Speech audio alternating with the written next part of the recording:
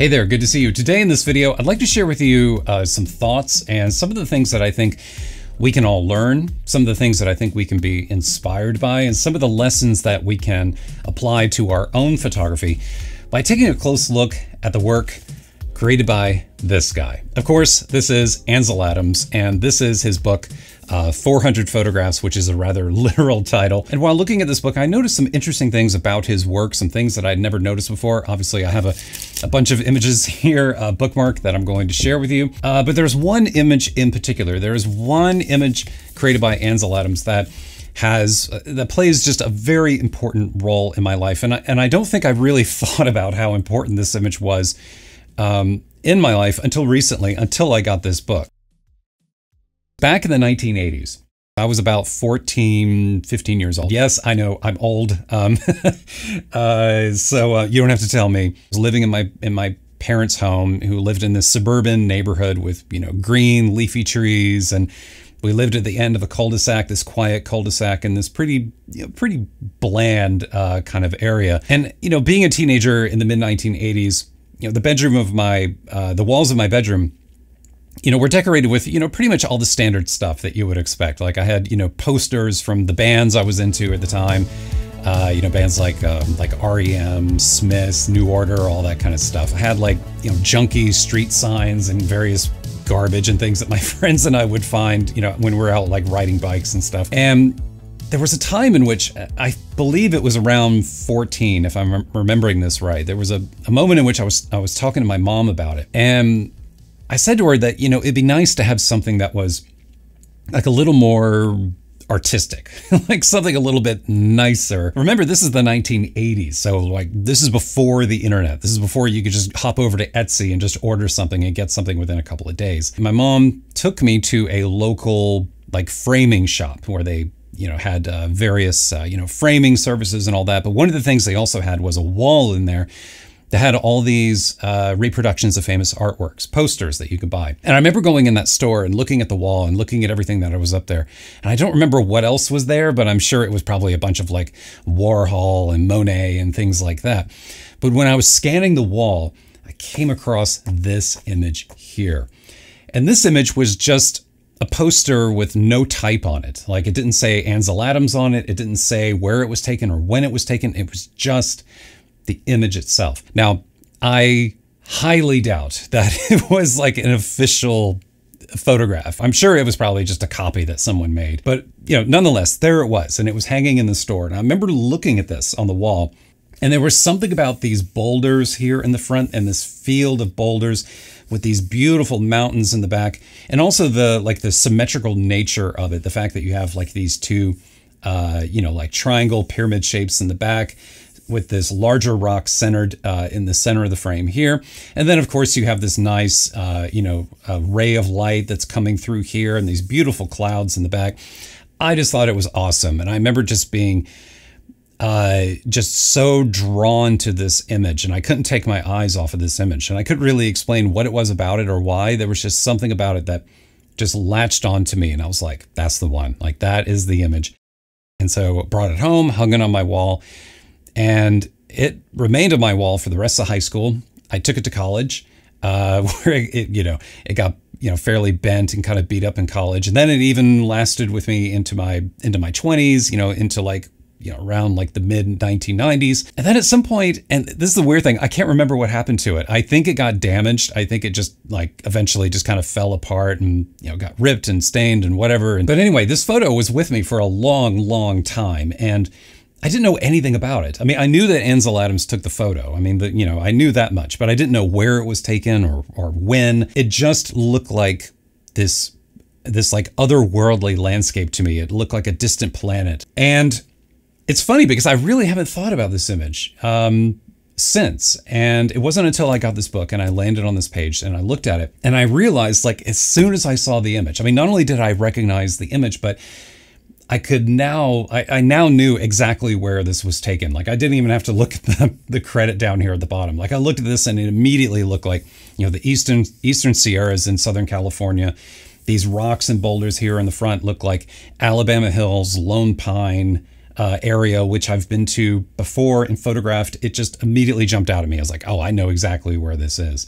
And turned out that was exactly right. It was taken just a few miles down the road in Manzanar, California in 1944. So in 44, that is when the uh, the Japanese uh, internment camps were uh, in Manzanar during the uh, during World War II, and Adams was there documenting um, uh, the uh, the Japanese prisoners of war who were uh, being held there. Uh, kind of a kind of a, a, a dark point in American history. And while he was out driving around, it was on a dirt road that he saw these rocks and these mountains in the back and the light and everything. And so he got out, he put his camera on top of the car and took this photo literally from the side of the road.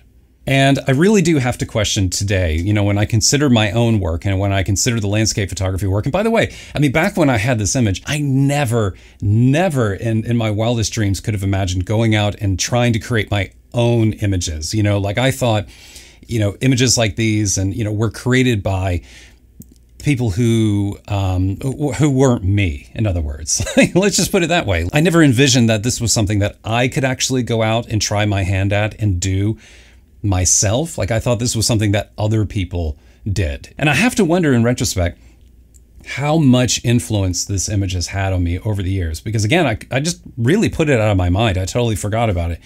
But I really do just have a thing for geology and rock formations and these desert landscapes in the American West. Like it is one of my favorite places to go and photograph. And I don't know. I mean, maybe maybe all roads you know, that I'm that I'm currently traveling on, maybe everything leads back to this. Maybe everything leads back to this photo. And that day in the 1980s when my mom took me to a local store to buy a poster and I saw this hanging on the wall. Okay, but anyway, uh, there are 399 other photographs in this book. I'm, you know, not going to talk about all of them, of course, but there are some uh, particular images here that I think are really, really interesting that uh, that I want to talk about. And I want to begin with one of his most uh, famous photos. Let me see if I can find it here. I'm sure you've seen this image at some point. Uh, this is one of his most famous images. This is uh, the Tetons and Snake River in Grand Teton National Park in Wyoming, captured in 1942. In other words, like, you know, 80 some odd years ago, coming up on a century on some of these images in this book, which is just incredible to think about. But anyway, this photo is like one of those like classic landscape photography photographs that you know, is a template that I feel like everyone has followed at some point. I know I have. I've seen plenty of photos like this where you have this you know this this wonderful leading line of this river that begins in the lower right hand corner and just ebbs and flows through uh, the lower half of the frame, and then you have you know these wonderful peaks, uh, the uh, the Tetons back here in the back, and this river just really draws the eye into the back partially because of how bright uh, the water is, because the sun is reflecting off of that water, and it just pulls your eye back into these surprisingly clear um, mountains. Like there was just you know, very little atmospheric haze or pollution, I would assume, in the air at that time. Adams definitely did not have the convenience of a dehaze slider like we have today. Um, but you know, and then there's just these wonderful dramatic clouds and this light and everything else is you know cast in shadow. And uh, and you know these areas aren't of particular importance. Everything is just really focused on that shape of the river leading back uh, into the peak. And it's just a classic image. It is one of those images that like follows the rules of you know leading lines and composition you know so closely that it, it's really hard to find fault in it. Like i think everyone could probably look at this and say that's a great image. But the interesting thing about Adams, and, and what really surprised me about his book, is that yes, he does have fairly conventional, fairly you know, objectively beautiful images like these, but he also has some surprising images in here. Images with surprising levels of of um, like images that are surprisingly contemporary and modern in comparison. This one really took me by surprise. I have never seen this photograph before. And there's just something so wonderful about it. This is uh, just, it's just labeled as Mud Hills, Arizona. Um, this is just probably just some random area that he came across back in 1947. You know, remember, this is 47. So, I mean, this is a time period in which, you know, there was no Photoshop. There was no, you know, like exposure blending or whatever else. All the digital tools and tricks that we have today, there was none of this back then. He was working purely with the camera and film and his darkroom, of which he was you know, very skilled and capable, obviously, because he developed the whole zone system and all of that. But still, the thing that I love about this photograph is not only the photograph itself, but just knowing that this was an authentic, real moment when he was out in the field and he probably saw this light, you know, just hitting this little flat area here in the foreground, surrounded by these dark, uh, just you know almost like wave like uh, you know rock formations around it and there's just something so simple and beautiful and minimal about it that and quiet that just really draws me into it that I just love and I just think this is such a great photograph it doesn't even look like the same photographer captured it. And there's another image in here too that I want to show you. And uh, let me see, that other image is, uh, yep, it's uh, this one right here. Now you've probably seen this one before. This is another one of his more uh, well-known images though. Uh, I haven't seen it in a while. And when I saw it here in the book, it uh, it really surprised me. And this was taken a number of years earlier. This was taken in 1932. I mean, just let that sink in for a moment. I mean, that was almost a century ago. And this, by the way, is one of the things that like you know if, if someone who you know doesn't know a lot about photography if they ask me you know like why landscape? You know like what is it about landscapes that's so interesting and draws you to it? For me it's not just the environment and the subject matter and and uh, you know, attracts me to it but it's also the the timeless nature of the images themselves. Because if you had told me this image was taken last week i totally would have believed you.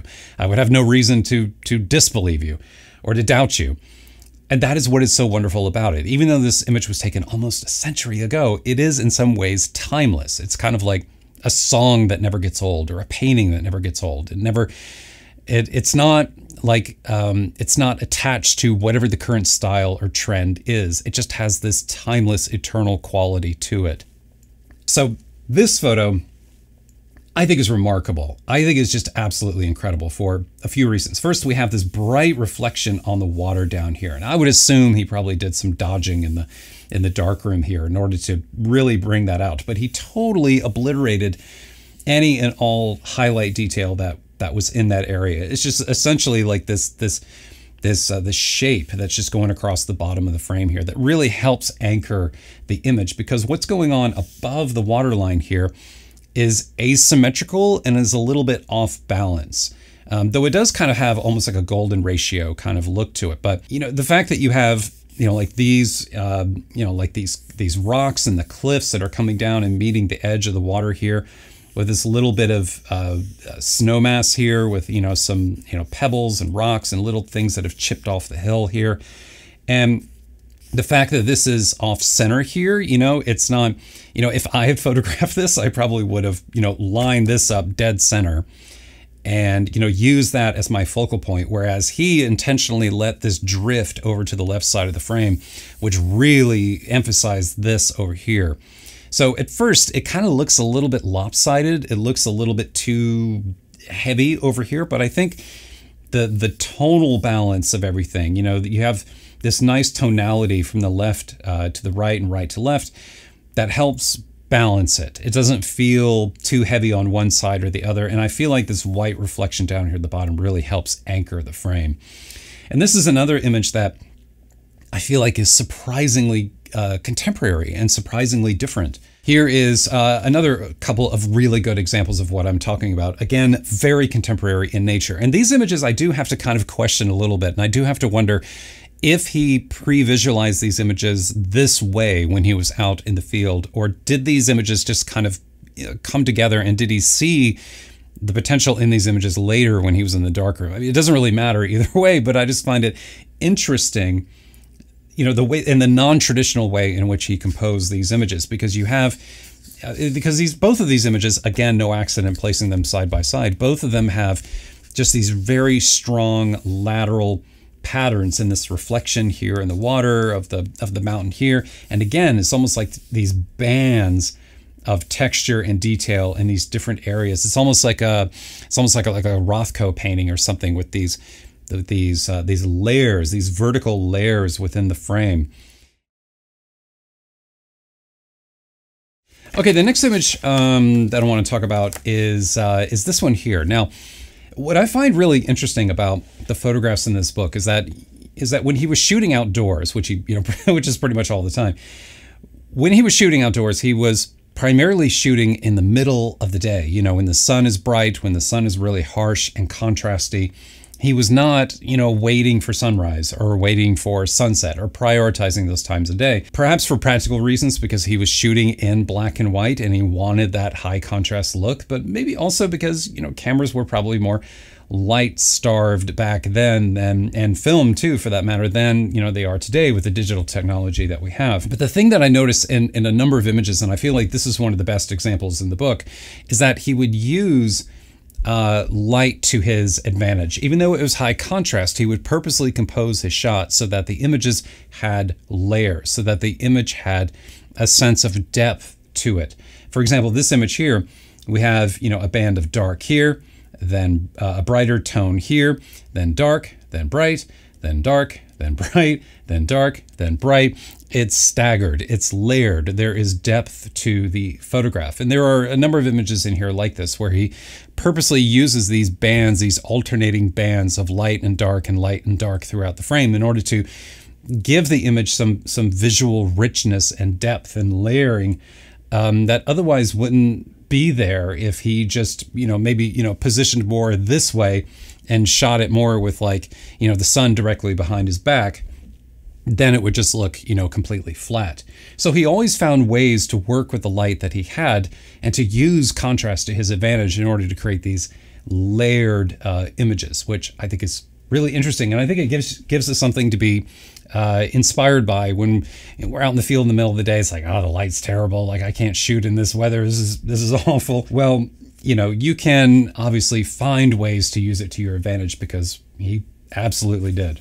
Okay, another uh, pair of images that uh, that I want to talk about is um, this one here. I thought this one was really interesting. Again, um, you know, again, a study in tonality because when you look at these images, they are exactly uh, they are the same tree, uh, the exact same tree, except this one was shot in 1944 uh, in autumn, and then this one is obviously shot in winter in 1948 in his favorite uh, location of all, uh, Yosemite National Park. Sometimes I don't recognize when I'm out in the field, like, uh, you know, when I'm when I'm shooting a particular subject, I don't notice how the tonal values of whatever is in the foreground are are more or less the same as whatever is in the background. Like the colors could be different, and the color may be throwing me off and thinking that that it's going to be obvious how different they are. But in 3D space, looking at it with the human eye, it looks like there's depth there. But then when you take a photo and get back and look at it, everything smushes down into a 2D flat plane. And when the tonal values are so close to each other, like if your subject is middle gray and your background is middle gray, it's just going to turn into mud, like with the two of them together. So there has to be some differentiation between the two in order for there to be depth in the image. And this is something that I feel like he used to great effect with these particular images because you'll notice that the light is illuminating uh, the leaves on these trees here in the foreground. This is probably some side light coming from out of frame this way. But the peak in the back, uh, which is uh, Cathedral Rocks, these are in shadow. So you have the darker tonality of of the hill or the the uh, the rocks and the, and the cliff behind it, whatever you want to call it, behind the tree. But the leaves are all illuminating with that sun in the foreground. So you get that that separation between the two. And the other one, the other one taken in winter is the exact opposite of that. You have, you know, the sky that has been completely blown out with, you know, with snow that, you know, that's blowing around. And so it's rather foggy, rather misty. And here the leaves are darker, like they're they're covered in snow. Uh, but they are, uh, but the light, the way that the light is in this particular moment, the leaves are darker. So we're able to uh, differentiate uh, the tree against the background. So again, he had a very sophisticated eye, I think, for depth uh, in the frame when he was taking images, and he was thinking about the difference in tonality between what was in the foreground and what was in the background. Uh, speaking of, of uh, Yosemite, before we move on uh, to other images, one of the just general things that I want to say about his work, and one of the things that really stuck out to me, is just the sheer number of images that were captured in in like the backyard of where he lived you know which was obviously california. I mean he did so much work in yosemite. Like uh, 60 to 70 percent of this book feels like it's yosemite. And then he you know when he traveled he only traveled like to neighboring states. Like he would go over to arizona new mexico. Surprisingly few images in here of utah. Like why he didn't shoot more in utah or at least you know yeah, there could be far more photographs that I haven't seen, even though this one contains 400 there, I'm sure there are more. But why there aren't more images from Utah when Utah is like one of the most fantastic uh, landscape photography states in the country. And and when he did travel, I mean, there's like a couple of images in here from like Alaska and one from Hawaii, but again, those are states. And I don't know if it was just the time period. I mean, again, this is like 30s, 40s, 50s, and you know, people just didn't you know get on a plane and travel like they do today. But it's worth mentioning and worth pointing out that he didn't travel to Iceland. He didn't travel to Greenland. He didn't go to Namibia. He didn't go to the Faroe Islands. He didn't, you know, go to like Chile or anything like that, like landscape photography hotspots. He didn't go to any of those places. Rather, he shot exactly where he was. Now, granted, where he happened to live is one of the most beautiful and fantastic states in the United States, that being California, of course. And California in many ways is like a country unto itself, not just not just culturally and economically and and everything else, but the sheer variety of landscapes that is just in that one state. I mean, you could, as evidence here, spend your entire life photographing that state and never grow tired of it and always find something interesting to photograph. So I'm bringing this up because I think it's interesting to think about when I feel like the you know the the impulse is certainly there. I know I have it to like travel to far flung exotic landscapes and to you know and to go and you know do that type of work. But he created an entire body of work right where he lived, which I think is I, I think is you know an inspiring thing. Okay, the next thing I noticed when looking through his images was how dominant um, the sky would oftentimes be in his photography. I don't know about you, but oftentimes when when I'm shooting landscapes, I think primarily about you know what's on the ground. I think about you know what's in front of me, uh, you know foreground, midground, background, and if the sky is a willing participant, and if the sky is helping out, and and you know, and if the sky is good and the light is good, and there's maybe some texture and detail up there, awesome. Otherwise, well, you know, this is why we have sky replacement tools today, right? Because oftentimes the sky does not play along and the sky can be kind of bland or it can just, you know, it just doesn't really add anything to the frame or to the image. So for me, oftentimes I feel like I have kind of like a negative relationship with the sky because the sky more often than not just doesn't really, you know, do a whole lot for me. It's not helping the image. As a matter of fact, it kind of, you know, brings it down sometimes. But something that Adams would oftentimes do is that when there was something interesting happening in the sky, and when the sky was beautiful and dramatic, and he would primarily focus on the sky. Like the sky would become the primary subject of the image. For example, like uh, this one here, captured of a thunderstorm in New Mexico in 1937. I mean, the land, like the landscape, the actual land in front of him is what? Like maybe like 10% of the image, and the other 90% of the image is this dark, beautiful sky up here above. But notice here, you know, how he also used light. Like, you know, the, the foreground down here is not is not dark. He purposely shot this at a time when, uh, or he lucked out with the light, perhaps most likely, where you have this side light here that was uh, illuminating the side of, um, of this valley that helps anchor the image and helps provide sufficient contrast for what's happening up here at the top. And I'm sure he probably did a sufficient amount of burning in the darkroom in order to make this even darker and more uh, dramatic looking. But we see this in other uh, images too. This is another one of his most famous images. This is Moonrise, Hernandez, New Mexico, 1941. And again, just a small sliver of landscape down here at the bottom bright white streaking clouds across the side here, which is kind of similar to that earlier image with the water going across the bottom. And of course the moon and this deep, dark, black sky above it. I mean, this is almost a topic within itself, but he was not afraid to push the sky all the way down into pure black. And here is another really good uh, example here. Again, the landscape is like 10% of the image once again. Beautiful sweeping uh, clouds, you know, across this valley here. Doesn't look like he spent too much time, you know, uh, you know, carefully composing the shot because we have this little shrub here on the edge of the frame, which is providing a little bit of friction, which uh, today, someone using uh, Photoshop would probably use the remove tool and just kind of, you know, just kind of take that out. But back in the day, obviously that wasn't possible. So you just have this little sliver here, and the sky is just this dramatic character. And again, man, he loved photographing the moon. Here we have uh, the moon once again. And then, of course, there is uh, High Country Crags and Moon, King Canyon National Park, California. Again, quite contemporary compared to other images that he captured. And you know, this is such a, a, a, great interplay of like, you know, light and dark and this almost like this like alter this uh this uh, like prism like uh, beam of light that is being formed by this landscape here. And I'm sure that he probably uh, you know, probably did a fair amount of burning with this foreground here. I mean, he pretty much like obliterated everything in the foreground here to match the tonality of the blue sky, which he just, you know, dropped all the way to black. Again, with the moon, like in order to bring out that moon. One of the really interesting things about this photograph, and one of the things that I can't forget now, you know, every time I look at this image, I'm going to think of this. I wrote about this in one of my newsletters, but there was a, a story in the New York Times a while back. If you're a subscriber, I'll link to that article down below if you'd like to check it out. But that story in the Times was about someone who became so infatuated with this image and just loved this image so much that they wanted to see it with their own eyes and not just go out and you know see this particular landscape but they wanted to go out and photograph it in the exact same way that he did at the exact same time of year uh, and you know in order to find that out she had to work with like astrologers and all like different people, some consultants who helped her figure this out. But they figured out because there was no official like date and time for this image or location, certainly no GPS coordinates. But she was able to figure out where the image was taken. You had to hike into it, and she figured out the exact day, month, and year and everything, and when she should shoot it.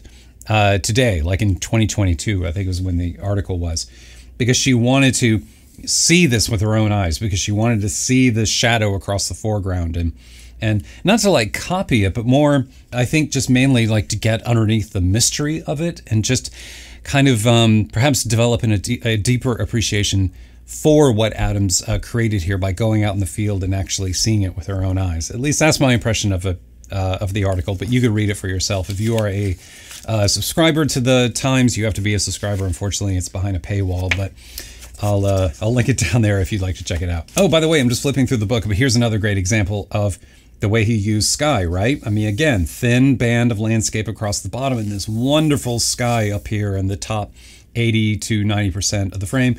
And again, with this moon here, probably a fair amount of uh, uh, burning um, involved here in order to create the look of this image. But again, it was a technique that he that he utilized quite often.